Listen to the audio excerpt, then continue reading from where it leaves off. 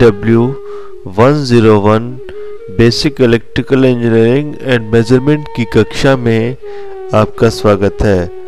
आज हम आपको unit number five lesson number twenty eight के विषय में बताएँगे, जिसका टॉपिक है लेड एसिड सेल का अनुरक्षण तथा उसके आवेशन की विधियाँ maintenance of lead acid cell and methods of its charging objectives उद्देश्य।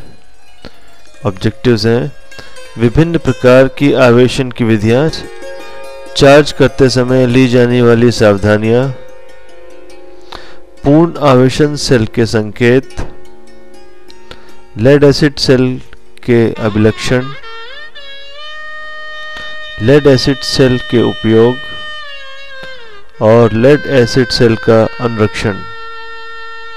सबसे पहले लेड एसिड सेल के आवेशन की विधियाँ methods of charging of lead acid cell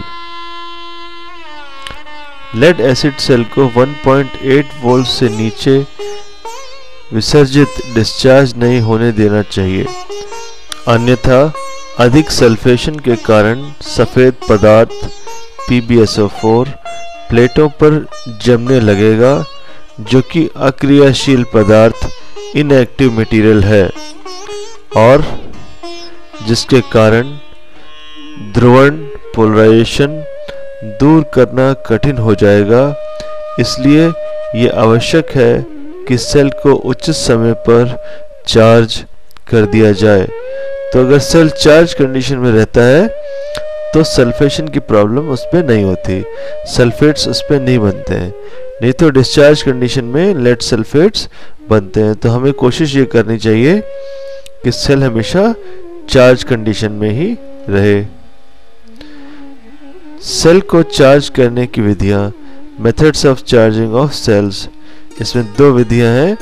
सामान्य विधियाँ जनरल मेथड्स और विशिष्ट आवेशन विधियाँ स्पेशल मेथड्स तो सबसे पहले सामान्य विधियाँ जनरल मेथड्स जनरल मेथड्स में पहला है लाइन पर जोड़कर छोड़कर फ्लोटिंग ऑन द लाइन कई स्थानों पर बैटरियों को लाइन पर जुड़ा छोड़ दिया जाता है। ये बैटरियाँ इस प्रकार जुड़ी होती हैं कि जिस समय विद्युत मांग सामान्य होती है, उस समय ये चार्ज होती रहती हैं।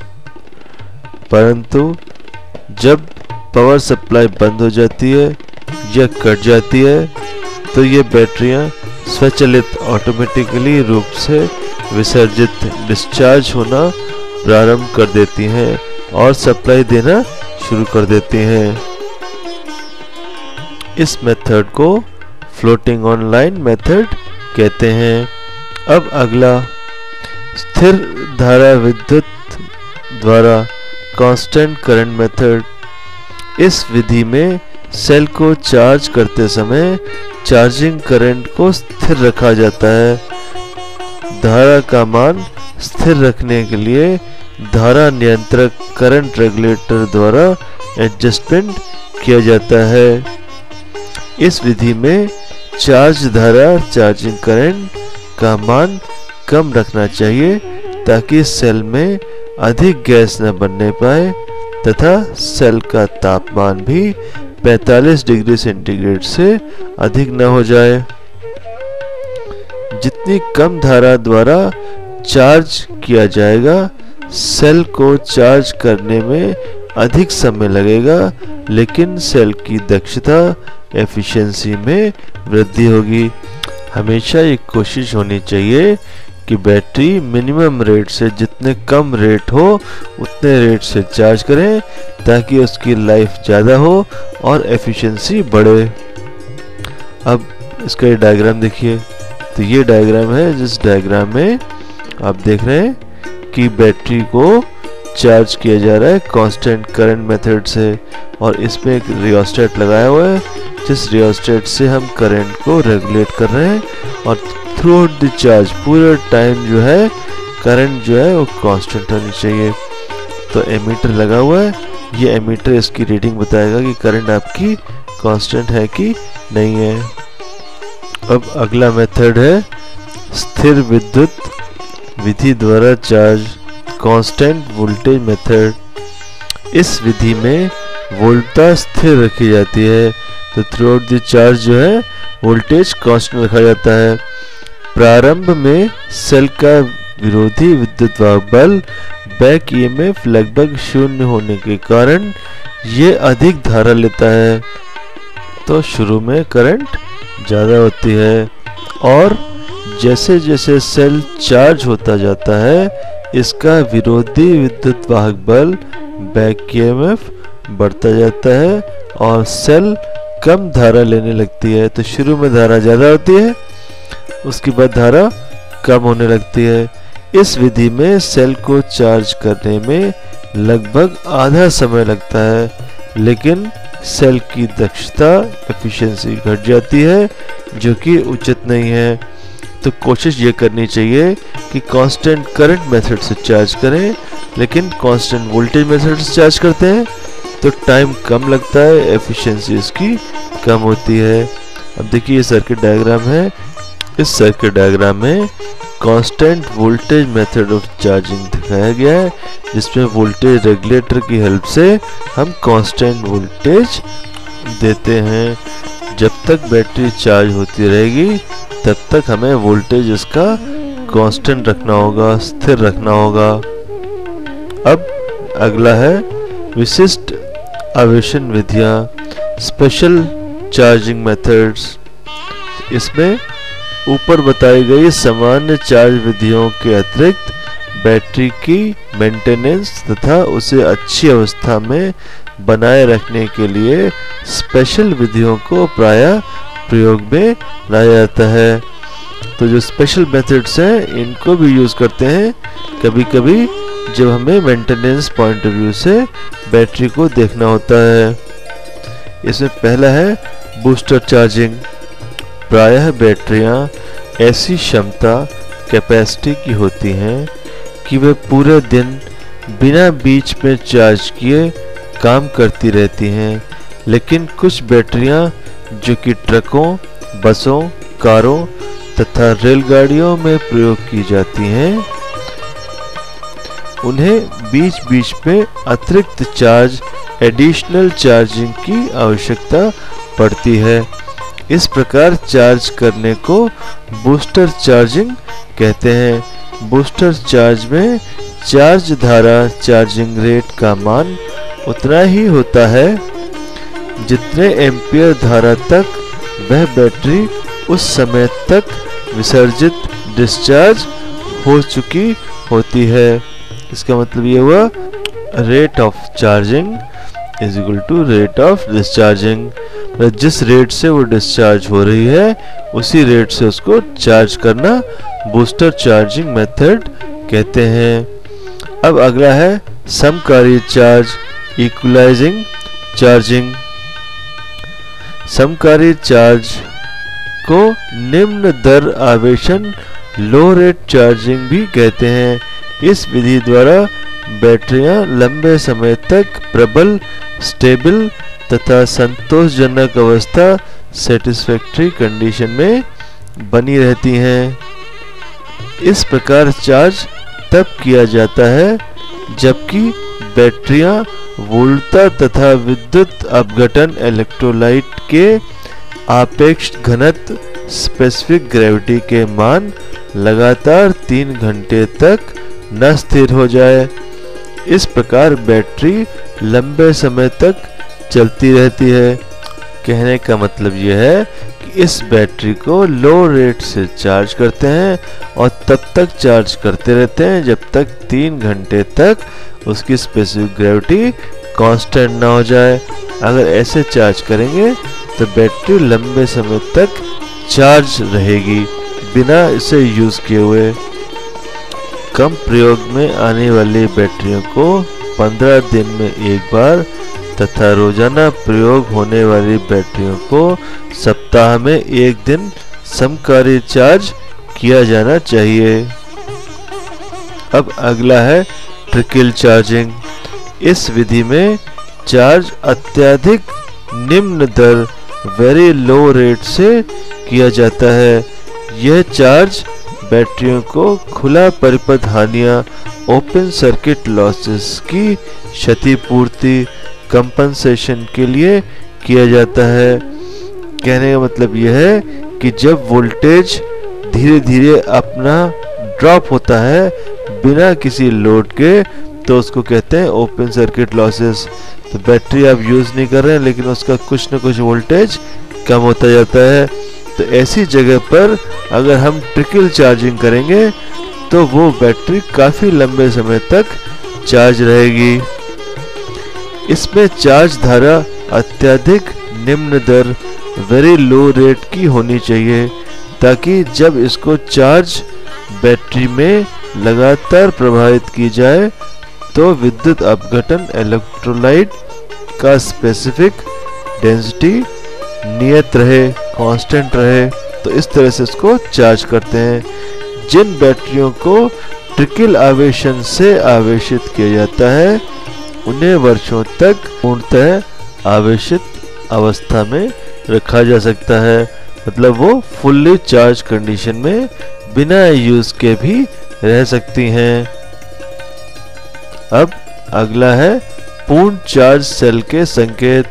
Indication of fully charge cells तो कैसे पता चलेगा कि सेल हमारा पूरी तरह से चार्ज हो गया है कि नहीं? उसके क्या क्या इंडिकेशन है? इसमें बताया जाएगा। पूर्ण चार्ज सेल के निम्न लक्षण होते हैं। पहला गैसिंग जिस समय सेल पूर्ण रूप से चार्ज होते हैं तो यह कैथोड पर हाइड्रोजन तथा एनोड पर ऑक्सीजन गैसें बाहर निकलती हैं। यह क्रिया गैसिंग क्रिया कहलाती है और इससे यह आभास होता है कि सेल पूर्ण रूप से चार्ज हो गया है। तो अगर गैसेस निकलती हैं, बुलबुले दिखाई देते हैं तो समझ सकते हैं कि बैटरी जो है पूरी तरह से चार्ज हो गई है। सेकंड इंडिकेशन है वोल्टेज जब सेल पूर्ण रूप से चार्ज होता है, उस समय उसके टर्मिनल वोल्टेज लगभग 2.4 वोल्ट होता है। तो वोल्टेज चेक करके मालूम कर सकते हैं कि सेल जो है पूरी तरह से चार्ज हो गया है कि नहीं? अगर वोल्टेज 2.4 वोल्ट है, इसका मतलब बैटरी पूरी तरह से चार्ज हो गई है। तीसरा इंडिकेशन विद्युत अपघटय का विशिष्ट घनत्व specific gravity of electrolyte cell के विसर्जन के समय विद्युत अपघटय लगभग 1.18 तक रह जाता है। जब सेल पूर्ण रूप से चार्ज हो जाता है, उस समय विद्युत अपघटय का घनत्व 1.21 तक हो जाता है, जिसको हाइड्रोमीटर से नापा जा सकता है। तो इस प्रकार हाइड्रोमीटर से अगर हम स्पेसिफिक ग्रेविटी चेक करेंगे तो हमें मालूम पड़ जाएगा कि सेल हमारा चार्ज कंडीशन में है कि नहीं है। अगर फुल्ली चार्ज कंडीशन में है तो स्पेसिफिक ग्रेविटी 1.21 या उससे अधिक होनी चाहिए। अब देखिए, इस चित्र में दिखाया गया है कि स्पेसिफिक ग्रेविटी जो है हाइड्रोमीटर से नापते हैं। तो हाइड्रोमीटर दिखाया गया है, किस तरह से इस हाइड्रोमीटर से आप स्पेसिफिक ग्रेविटी नापते हैं। तो यहाँ पे दिया है 1.250 तो इतनी रीडिंग है तो ये इसका मतलब ये है कि बैटरी आपकी फुल्ली चार्ज कंडीशन में है। इसके बाद अगला है कलर, रंग। पूर्ण चार्ज होने पर सेल की पॉजिटिव प्लेट गहरे भूरे रंग की तथा नेगेटिव प्लेट हल्के स्लेटी ग्रे रंग की हो जाती है। तो ये तो तब आप देख सकते हैं जबकि कंटेनर आपका ग्लास का हो। अगर कंटेनर ग्लास का नहीं है हार्ड ब्राउन रबर का है तो आप इसको देख नहीं सकते। तो ये तो तभी इंडिकेशन मालूम पड़ेगा जब आपका सेल इस तरह से इस कंटेनर में रखा है, जो कि ट्रांसपेरेंट शीट का है या कांच का है। तो इस तरह से सेल्स के इंडिकेशंस चेक करके हम मालूम कर सकते हैं कि सेल हमारा चार्ज कंडीशन में है। अब अगला है अम्ल सेल के अभिलक्षण characteristics of lead acid cell cell के मुख्यतः तीन अभिलक्षण होते हैं कैरेक्टरिस्टिक्स होते हैं। पहला, सेल की वोल्टता वोल्टेज। चार्ज सेल का औसत वोल्टेज, विद्युत वाहक बल दो वोल्ट होता है।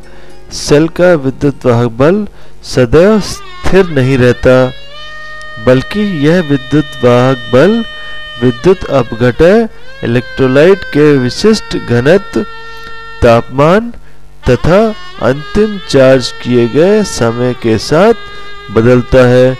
तो वोल्टेज कांस्टेंट रहता नहीं है, वोल्टेज भी चेंज होता रहता है। विशिष्ट घनत्व का मान 1.23 से अधिक नहीं होना चाहिए। 1.21 विशिष्ट घनत्व का अच्छा परिमाण प्राप्त होता है। तापमान की वृद्धि के साथ सेल का विद्युत वाहक बल थोड़ा सा बढ़ जाता है। अब दूसरा कैरेक्टरिस्टिक्स है सेल की धारिता कैपेसिटी अब सेल की कैपेसिटी के बारे में बताएँगे। सेल की धारिता एम्पियर आवर्स में मापी जाती है। यदि सेल में एक एम्पियर धारा दो घंटे प्रभावित करें तो उसकी धारिता दो एम्पियर आवर या एम्पियर घंटा होगी। तीसरा है, सेल की दक्षता एफिशिएंसी किसी सेल की दक्षता दो प्रकार की होती है। पहला, एम्पियर घंटा दक्षता, एम्पियर आवर एफिशिएंसी यह दक्षता, एम्पियर घंटा विसर्जन, एम्पियर आवर डिस्चार्ज और एम्पियर आवर चार्ज का अनुपात होती है। तो एफिशिएंसी क्या है ampere hour efficiency ratio of ampere hour discharge divide by ampere hour charge और दूसरी है वॉट घंटा दक्षता वॉट आवर एफिशिएंसी यह दक्षता वॉट घंटा विसर्जन वॉट आवर डिस्चार्ज तथा वॉट घंटा चार्ज वॉट आवर चार्ज का अनुपात है। तो वॉट आवर एफिशिएंसी जो है वॉट आवर डिस्चार्ज और वॉट आवर चार्ज का रेशियो है, अनुपात है। अब इसके बाद अम्ल सेल के उपयोग application of lead acid cells अब आपको बताएँगे कि इनके क्या क्या उपयोग हैं। इसका पहला उपयोग है, रेलगाड़ियों में रोशनी तथा पंखों के लिए विद्युत सप्लाई के रूप में तथा टेलीफोन एक्सचेंज में प्रयोग करते हैं। ऑटोमोबाइल में स्वतः प्रारंभ चालन सेल्फ स्टार्टिंग के लिए कारों, मोटरों, ट्रकों आदि में रोशनी के लिए रिले की ट्रिप कॉयल तथा स्विच गियर को वोल्टता प्रदान करने के लिए उच्च वोल्टता वाले स्विच गियरों में स्वतः चालन के लिए इसके अतिरिक्त प्रयोगशाला में अन्य कार्यों में सेलों का प्रयोग किया जाता है। अब अगला है लेड एसिड संचायक सेल का अनुरक्षण maintenance of lead acid cell पहला सेल को सदैव दिष्ट धारा से तथा सही दिशा में चार्ज करना चाहिए तो डीसी से चार्ज करना चाहिए और डायरेक्शन ठीक होना चाहिए। सेल को निश्चित दर से चार्ज करना चाहिए। जो रेट ऑफ़ चार्ज है, वो फिक्स होना चाहिए। और सेल को 1.8 वोल्ट से नीचे विसर्जित नहीं होने देना चाहिए। तथा विसर्जित होने पर उन्हें शीघ्र चार्ज कर देना चाहिए। उसके अलावा सेल को ना तो अधिक चार्ज ओवर चार्ज करना चाहिए, ना ही कम चार्ज, अंडर चार्ज करना चाहिए। सेल को लंबे अरसे तक विसर्जित नहीं छोड़ना चाहिए डिस्चार्ज नहीं रखना चाहिए सेल को। सेल को चार्ज करते समय आसपास आग नहीं होनी चाहिए, क्योंकि सेल में से हाइड्रोजन और ऑक्सीजन गैसेस निकलती हैं तो ऑक्सीजन गैसेस जो है, अगर आसपास कोई ज्वलनशील पदार्थ रखा गया है तो उससे आग लग सकती है। सेल को स्वच्छ और शुष्क स्थान पर रखना चाहिए। वहाँ का तापमान 60 डिग्री सेंटीग्रेड से अधिक नहीं होना चाहिए।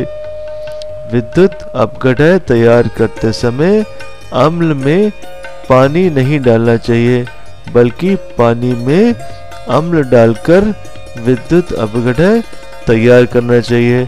जब भी इलेक्ट्रोलाइट आपको तैयार करना है तो अम्ल को पानी में डालना है, न कि पानी को अम्ल में। के अलावा सेल के विद्युत अपघटय का विशिष्ट घनत्व स्पेसिफिक ग्रेविटी उसके विसर्जन तथा चार्ज के बाद जाँच लेना चाहिए। तो जब भी चार्ज हो डिस्चार्ज हो, आप स्पेसिफिक ग्रेविटी को चेक करते रहना चाहिए। सभी सेल को थोड़ा अधिक चार्ज कर लेना चाहिए ताकि प्लेटों पर जमा सभी सफ़ेद सल्फेशन हट जाए। तो हमेशा प्लेट्स को जो है, थोड़ा सा ओवर चार्ज करते हैं ताकि जो सल्फेशन है, जो उसके ऊपर लेड सल्फेट की लेयर है, वो उसके ऊपर से हट जाए। इसके अलावा चार्ज के समय उत्पन्न गैसों को बाहर निकालने के लिए वेंट प्लग को कुछ ढीला रखना चाहिए ताकि गैस बाहर निकल सके। इसके अलावा बैटरी को उपयोग में नहीं लाया जा रहा हो तो उसे ट्रिकल चार्जिंग पर लगा देना चाहिए। ताकि उसके बाद बैटरी जो है, वो हमेशा चार्ज कंडीशन में रहे और ओपन सर्किट जो लॉसेस हैं, वो उसके ना हो। अंत में समिंग अप सारांश।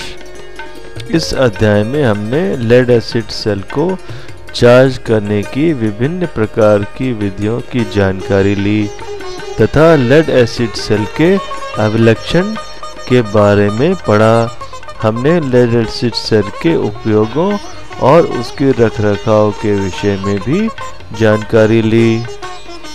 अब अगला है क्लास असाइनमेंट, कक्षा कार्य।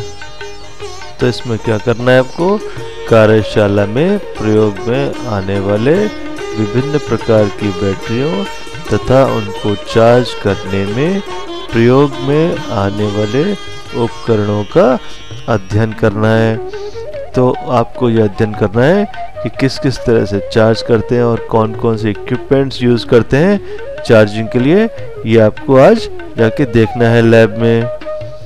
अब इसके बाद है experiment C E W one zero five practical 28 आज आपको 28 नंबर प्रैक्टिकल करना है, जिसका उद्देश्य दो वॉट मीटर विधि द्वारा थ्री फेस लोड बैलेंस्ड या अनबैलेंस्ड की पावर मापना और पावर फैक्टर की गणना करना।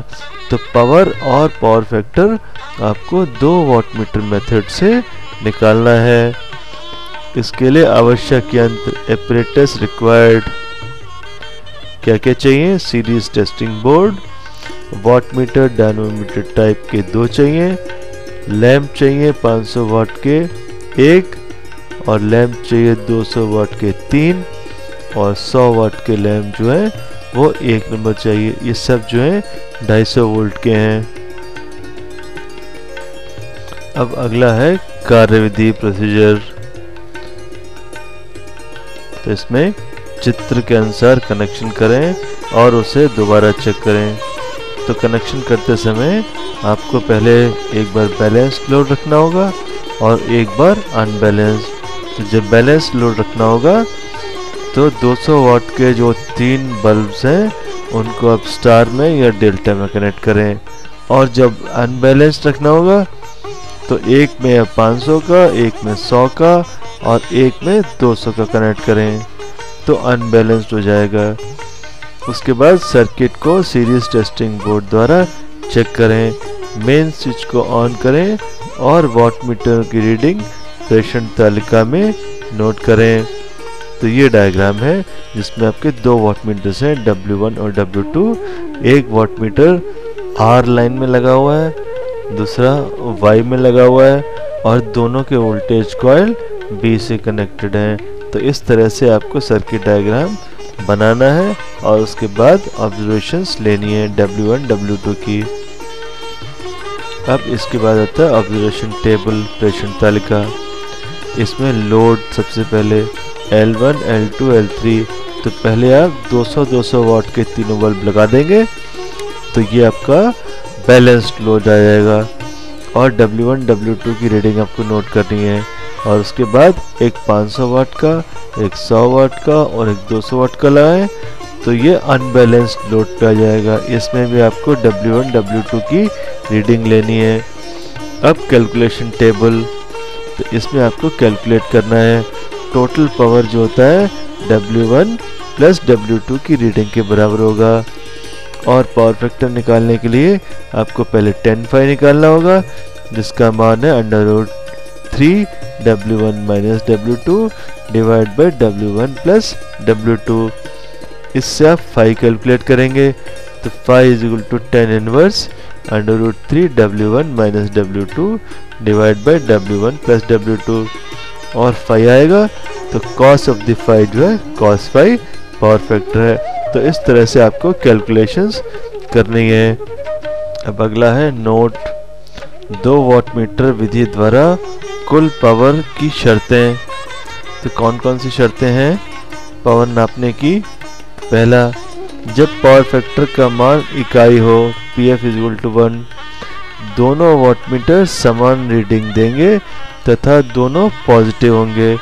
कुल पावर का मान W2 two equal to W one plus W two और जब पावर फैक्टर का मान एक से कम तथा 0.5 से ज़्यादा है, तब दोनों वाट मीटर्स की रीडिंग पॉजिटिव और भिन्न होंगी।